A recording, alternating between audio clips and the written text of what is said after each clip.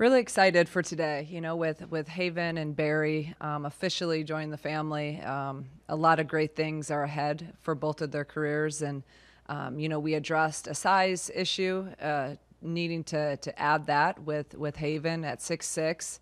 Um, she's also an, an Illinois kid, um, so we love that. And I think she's someone that has a ton of upside uh, really the the sky's the limit for her. She's someone that obviously has a size. She can move. She has some range to 15 to 17 feet um, and and capability to shoot the three. Um, and she works. And she also really wants to be at Illinois, which I think is is obviously key, especially for our in-state kids. Um, and I think she's someone that maybe some people didn't you know, recruit is hard, but I think she can be end up being a very, very good player in our league. Um, and and Berry Wallace, obviously, you know, I've known I've known the Wallaces for a long time. I recruited their younger.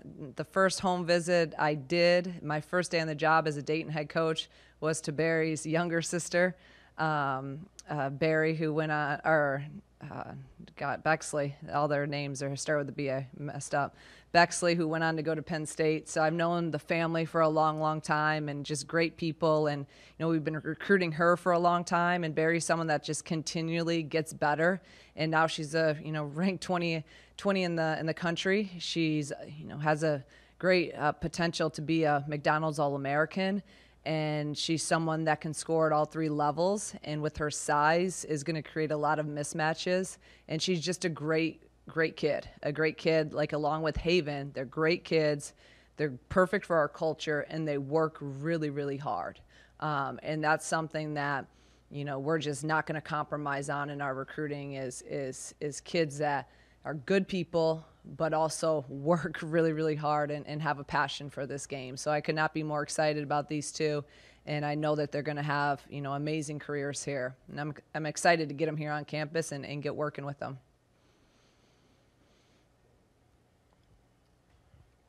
Shauna, recognizing playing time's never given, it's earned. Uh, how, what's your conversation with players like this, especially as they maybe look at your roster and anticipate who may be back or not and what their goals are? Yeah, I think every every class, every year, every player, it's different because there are there there you have to look at rosters and see, um, and and it may help you get kids, and it may hurt you and not get some kids because they see, oh shoot, I don't want to play behind, you know, three seniors or two seniors or whatever it is. So it it can help and hurt in recruiting. Um, with this class, you know, the thing that I actually really loved about both of them is not one time did playing time come into a conversation. And that leads me to believe that they believe in themselves and they're going to bet on themselves and, and they want to really be here and they're great team players that they're going to come and they're going to work and trust their own skill set and, and, and work ethic so they can continue to get better. So we didn't have a ton of those conversations with either of them. Um, but if you look at it next year, you know, if if we have our our COVID kids come back, uh, well, Hobby's gone anyways, and KB would be a senior, and then Brynn would be a senior, and that that fourth spot that Berry could play for and or a wing. So there's a lot of opportunity there um, in those positions, and especially in that class just I guess when you kind of like big picture where you're at right now after one season, you know, just the sales pitch that you're able to do after this past season, just how much easier is that um, when you're trying to you know sell recruits on this program and to bring in a top 20 recruit like like Berry as well. Yeah, I don't. I, I never want to say easy in recruiting in the same sentence, but I, I you have to have you got to win a little bit, right? You guys know that in order to uh, be able to sell what I think we're unique at in terms of our culture and in terms of here at Illinois and what we have to offer in terms of education, facilities, resources, support. Um, so the winning kind of gets you in the door a little bit more. But someone like a, a Berry, again, I think what their family is about was relationships, and we've known them for a long time. They've trusted us. They've seen our product, you know, and followed it at Dayton for all those years. So I think that was a little bit different. Um, where with our kids that we're talking about having signed, but in recruiting in general uh, last year helped us a lot. it, it, helped us a lot. Um, I, I, it just has. But now, like I've said in the past too, we got to get to the finish line and we got to be able to get them to commit and get them to to sign because it's all good and it's great and it sounds good, but it, it's really really hard to get them to say yes, I'm coming there, and and that's where we we've, we've made a lot of ground um, in a short time, but we're still striving for more. But I'm excited. I, we're definitely on the right path, no no doubt about it. And now also, Joe, to go on that, getting someone you get a top 20 kid now they've played with all those top kids. So now they know, oh, you know, Berry knows all those guys. So now she's going to start recruiting. And, and that's where you can really get to that next level when your players are the ones really recruiting and helping you out. So, Coach, you brought up Haven, and, and obviously that's your first in-state uh, commit. When you look ahead to future classes, how important is it to have that piece in place?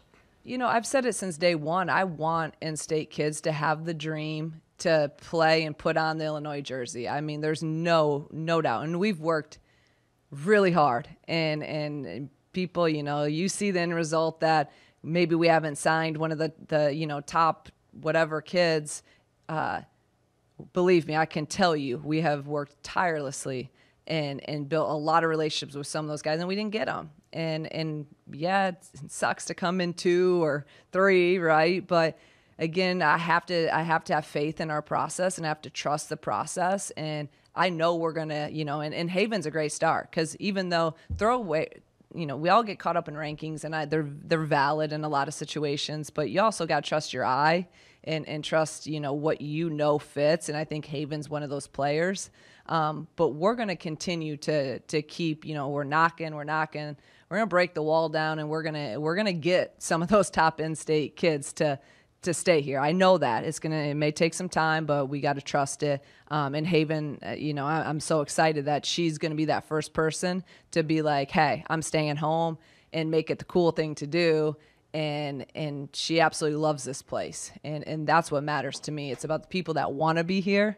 And you know, if we play you now and you're on the other, you know, the other side, we want to beat you. So. gradually taken those steps mm-hmm. over her mm-hmm. career. Like, what, what would you see early that you thought maybe she had the potential to have those growth points? You know, she's someone you just got to continue to watch. Obviously, you're you see her right away and you see size, and and you know then you got to just keep watching, keep watching. Sometimes, you know, as college coaches and, and recruiting, you know, it's interesting how a lot of people recruit, but we want to really evaluate. So, I mean, I went up there a ton last uh, last season just to watch her in high school and, and then watch her, you know, throughout the summer on her in her AAU team. Um, and the more I watched her, the more I really believed as someone, because if you're six six and you're completely like there, you're number one or two player in the country, right? Let's just be honest about it. So when you're recruiting bigs, it's different than recruiting guards. You got to really evaluate and see do they have the things that are important to your program and your your system and your culture, and then can you make them better? So I like some of the intangibles. Again, can catch the ball, has good hands, can run the floor at her size. She can run. Um, she works really, really hard, and she's really, really coachable and wants to be great. So all those things with the big, I'm gonna, you know, I'm gonna take that and and and trust and bet on ourselves and our staff to to develop her. You know, with Barry and just other recruits that you've had, you know, you've developed relationships with, or maybe the first time you didn't get them, but then the second time you got. Just what does that process kind of look like as you try to build those things, and you know, do you maybe think you know, maybe we don't get them this time, but we can get them down the road on something along those lines. Yeah, I think I have a higher percentage than the second time around. Then I don't know. That's not good though. I don't. I don't know. Is it good or is it bad? Right. but it's true. Like all of you know, that was also at Dayton when we lost some kids because they wanted a Power Five. Um, but I, I think who we are at our core, we're built on relationships and and we really get to know kids and their families. So then, like a Hobby, who again we had recruit for, she she wants to go somewhere for her last year, then we're we're in that door right away. Um, so yeah, and and my philosophy has always been where it's really hard when a kid calls and tells you no, and it's really hard when the kid like cries and tells you no because there's something there. And I've had this past year I had multiple like crying no's so that doesn't make me feel any better, but you've done what you can do. There could there had to be some outside other factors, right? And and I really believe we were at places where we need to be with some of those kids. So if something doesn't work out with them, you know, I always leave it in a good spot, and, and you never burn a bridge because they could they could want uh, to to come here, and I love transfers because they've been somewhere else, and then they usually really appreciate where they're at the second time. Seems like just maybe every season there's more players with maybe Haven size and maybe growing skill as well to, to go with that. I mean, is that do you see that as a trend where maybe just the game's getting a little bigger? I do. I think, you know, you see it. Players are getting bigger. Players are getting more athletic. You have more women dunking. You have more, you know, women doing a lot of different things, and and that's what's making our uh, game so great now. And I think that's where there's so much visibility and um, publicity with it, uh, and the the game's better. So I think it's trending all in the right direction. Um, but yeah, the size is is definitely getting kids are getting bigger. And I don't know what's going on, but kids kids are getting bigger, and, and that's a great thing as a basketball coach. So we'll take it. And I don't know. Like I know relationships are really important for you guys on the trail, but have you found your recruiting footprint at all expand over the last 16 months? And if so, like are there areas that you've targeted as obviously the state being here would probably be one, but have you eh, like broadened out at all there? Yeah, we're recruiting, you know, across the country, um, and you know, a lot of those. I think you always recruit your breadbasket, which is, you know, obviously Illinois, and then our touching states, and and what's home for you. So you got to recruit that extremely hard.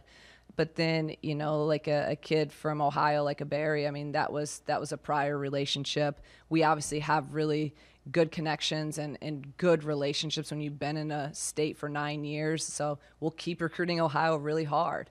Um, you know, adding like Calamity has a lot of experience all over the country with her spending time out west, and now obviously adding Britt, who's been out west a lot. She brings in some different connections and in relationships with coaches that maybe I don't even know them or didn't have that. So now they're introducing that to to me, and and you know, so it kind of all works like that.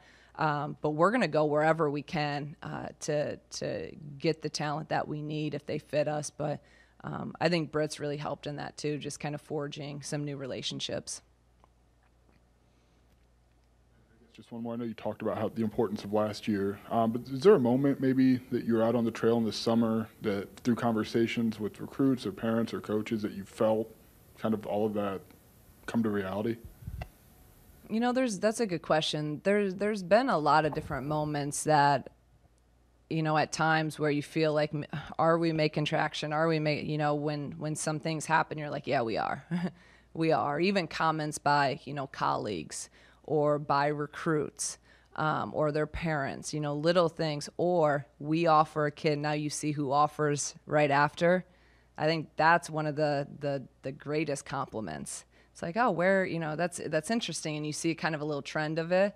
Um, so I think that there's a lot of different moments um, that have that have really come through with that. And, and the most thing that that I value is when parents, you know, when they make comments about certain things, or about how we do things, and uh, that's what means a lot to me. So we're getting there. Not to say you weren't in the mix for kids like um, Berry at Dayton, but you've kind of implied the new job and, and the new league and everything that goes with that. Did that open doors for you immediately with kids that you would have loved to have had at Dayton, but probably would have crossed off? Yeah, no doubt about it. I mean, it, it just it, it does. So you know, when you play in the Big Ten and in one of the best women's basketball leagues in the country, uh, you can, and then you have a staff. You know, first off, you won a little bit, so you, people respect what we did. I think at a high level, um, and we have a staff that's very respected, so they can reach out to their people and. Um, and now you come. This is the thing. We're always like, just we need to get them here. Once we get them here, everything usually like usually everyone loves it. And and if we can get them here and see everything, the facilities, meet the people, how we go about our visits, like the interaction, the the you know really having them with our team and that family approach. Um, I think has even bumped us up the list on some of those where we got them here. And then I'll always ask them, I'm like, what did you think? Is it what you thought? Is it, and almost, I think every time I've ever asked that, oh my gosh, it's so much more. Like, it's so much more than I thought it would be. So I think we can get in the door. And then if we can get them here, I think they really can see, you know, all the, all the really opportunities they could have here. How, how much does playing style kind of play into your recruiting pitch? See, kids want to play fast, they want to shoot threes, and, and you shoot threes and you play fast. So. it's something that we really we really push. First off, we're not going to recruit someone that doesn't fit how we play, but we really try to stress it with players because every player says they want to play fast. Everyone says, "Oh, I want to play up tempo, this and that." So I'm like, okay. I always try to flip it and like you need to do your research to see who really does play fast because as coaches, we all say we want to play fast too.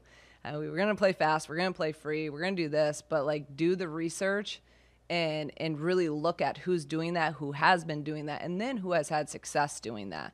So depending on who we're recruiting, we'll just use some of those. You know, we'll, we talk style, fit all the time.